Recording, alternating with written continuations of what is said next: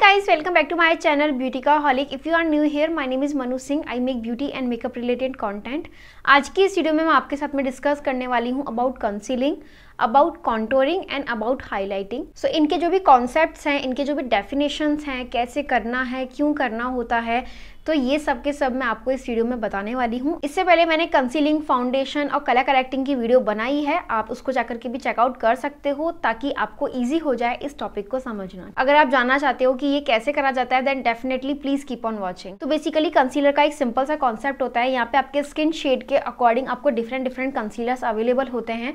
ठीक है? अगर आप अपना एग्जैक्ट स्किन शेड से रिलेटेड कंसीलर यूज़ करते हो, जैसे कि अगर मैं ये वाला बात करूँ, अगर आप अपना एग्जैक्ट स्किन शेड का कंसीलर यूज़ करते हो that's mean you are doing concealing ठीक है?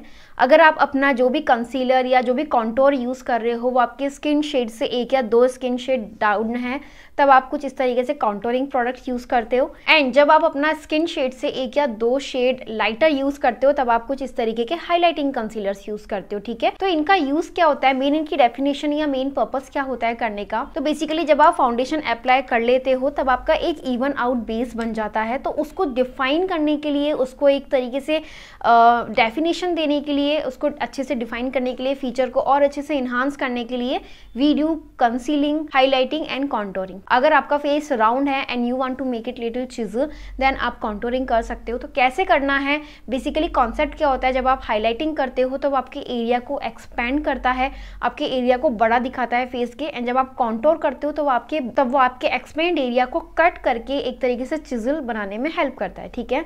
तो जब भी आप कंसीलिंग करते हो तो कंसीलिंग हमेशा आपके एग्जैक्ट स्किन शेड से होनी चाहिए। सो so, आपको हमेशा अपना एग्जैक्ट कंसीलिंग शेड यूज़ करना चाहिए।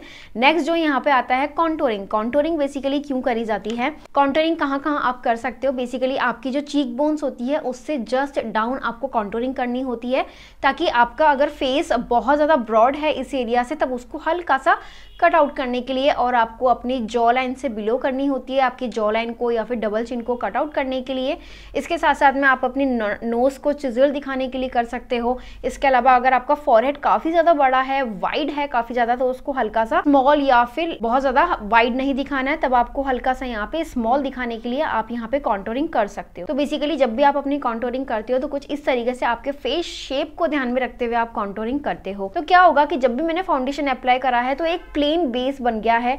अब मैं चाहती हूँ कि हल्की सी इसमें डेफिनेशन आ जाए लाइक मैं चाहती हूँ कि यहाँ से थोड़ा फीचर अच्छा हो जाए, या फिर फॉरहेड थोड़ा सा बड़ा दिख रहा है तो मैं उसको थोड़ा सा कट आउट कर सकती हूँ विद द कॉन्टोरिंग ठीक है? नेक्स्ट जो आता है वो है हाईलाइटिंग तो हाईलाइटिंग क्या होता है कि आप चाहते हो कि आपका फेस के फीचर या फिर जो सेंटर पार्ट है, वो बहुत ही अच्छे से उभर के आए हाईलाइट होकर के आए then you have to do your highlighting ठीक है? यहाँ पर मैं लिक्विड हाईलाइटिंग की बात कर रही हूँ। ये मेरी स्किन शेड से लाइटर है, तब मैं इनको यूज़ कर सकती हूँ हाईलाइटिंग क्योंकि कंसीलर करने के बाद में भी मुझे लग रहा है कि मेरा ये सेंटर पार्ट अच्छे से उभर के नहीं आ रहा है, बहुत अच्छे से डिफाइन नहीं हो रहा है then I do highlighting highlighting में कहाँ कहाँ पे कर सकती हूँ? आपके centre of your face like आप यहाँ पर अपनी अंडर आइज़ पे कर सकते हो, आपके ब्रिज ऑफ़ योर नोज़ पे कर सकते हो अपने क्यूपिड्स वो पे कर सकते हो आपकी आईब्रो बोन पे कर सकते हो आपके चिन पे कर सकते हो सेंटर ऑफ़ योर फोरहेड पे आप कर सकते हो। ये मेरी स्किन शेड से लाइटर हैं तब मैं इनको यूज़ कर सकती हूँ हाईलाइटिंग क्योंकि कंसीलर करने के बाद में भी मुझे लग रहा है कि मेरा ये सेंटर पार्ट अच्छे से उभर के नहीं आ रहा है बहुत अच्छे से डिफाइन नहीं हो रहा है देन आई डू हाईलाइटिंग तो ये पार्ट्स होते हैं आपकी हाईलाइटिंग के आपके फेस को और भी अच्छे से एक्सपेंड करने के लिए और बहुत ही अच्छे तरीके से ब्राइटन अप करने के लिए यू डू हाईलाइटिंग ठीक है? सो so, ये तीन स्टेप्स होते हैं जब भी आप अपना बेस करते हो तो ये आप कर सकते हो। ये आप पे डिपेंड करता है इट्स कम्प्लीटली पर्सनल एंड आपके फेस शेप को ध्यान में रखते हुए लाइक like, अगर आपका राउंड फेस है तब आप चाहोगे कि आपका चीक बोन्स या फिर आपकी जो भी जॉ लाइन है वो कट आउट हो जाए then you can do contouring according to your face shape अगर आपका ओवल फेस है देन दैट्स मीन आपका फॉरहेड काफ़ी ज़्यादा बड़ा होगा तब आप अपने फॉरहेड पे कर सक चीक्स पे कर सकते हो आपकी जॉ लाइन पे कर सकते हो। अगर आपका फेस बहुत ज़्यादा राउंड ना होकर के बहुत ज़्यादा sharp we can say square shape है तब मैं कॉन्टोरिंग कहाँ करूँगी? अगर मेरा फेस बहुत ज़्यादा स्क्वायर है तो मेरी जॉ लाइन को कट करने के लिए यहाँ से I do contouring from this side ठीक है? क्योंकि ये वाला पार्ट तो ऑलरेडी शार्प है अब इसको मुझे थोड़ा सा सॉफ्टन करना है तो मैं नीचे की तरफ़ कॉन्टोरिंग यहाँ पे करूँगी ठीक है? सो so, इस तरीके से आपको फेस शेप को ध्यान में रखते हुए कॉन्टोरिंग करनी होती है ठीक है? एंड हाईलाइटिंग आप कर सकते हो इट्स कंप्लीटली पर्सनल ओपिनियन कि आप क्या पार्ट अपने फेस पे हाईलाइट करना चाहते हो ठीक है? यस yes, ये कुछ स्टेप्स होते हैं ये कुछ प्रोसेस होती है जब आप अपनी कंसीलिंग कॉन्टोरिंग एंड हाईलाइटिंग के टाइम पे करते हो। तो मेन चीज़ यहाँ पे क्या मैटर करती है? आपको अपना स्किन शेड डिफाइन करना है कि आपके कॉन्टोरिंग के लिए कौन सा स्किन शेड वर्क करेगा, कौन सा शेड वर्क करेगा सॉरी एंड इसी के साथ साथ में सेकंड आपको यहाँ पे मैटर करता है आपका फेस शेप आप अपनी फेस शेप के अकॉर्डिंग कॉन्टोरिंग करोगे, ठीक है?